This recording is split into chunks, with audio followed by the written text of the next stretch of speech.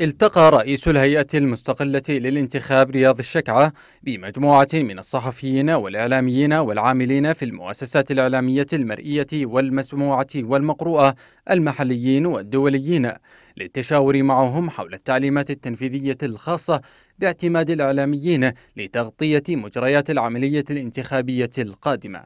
رئيس الهيئة رياض الشكعة قال إن التعليمات تبنى على القانون والممارسات الفضلى والمعايير الدولية والقصد من ذلك شفافية المعلومة وصدقها وتوثيقها مشيرا إلى أن الإعلامي له حرية التعبير التي يحترمها ويقدرها.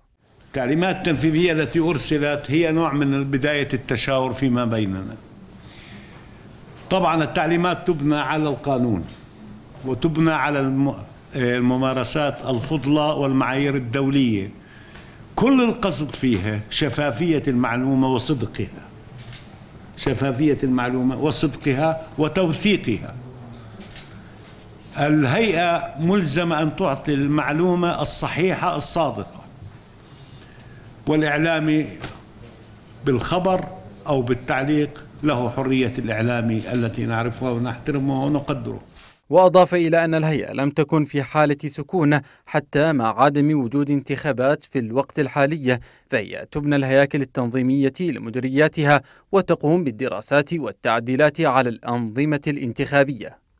لم نكن ساكنين رغم أنها في حالة سكون الهيئة المستقلة إذا لم تكن هناك انتخابات الدائمة يقال عنها في الفقه أنها تكون في حالة سكون. سكون يعني سكون ظاهري لكن داخلي تبني هياكلها التنظيمية مديرياتها تدرس العبر من المراقبين ماذا قيل عنها ما هي المعالجات ما هي الاحتمالات لصدور قوانين انتخابية أو تعليمات أو تعديلات في الأنظمة الانتخابية التي هي آه، أساسا آه، آه، لب العملية الانتخابية اللي هو النظام الانتخابي. وتطرق الحوار بعد ذلك إلى ملاحظات الإعلاميين والصحفيين والاستماع لآرائهم حول التعليمات التنفيذية الخاصة بالاعتماد والرد على الاستفسارات من قبل الهيئة وتدوين الملاحظات.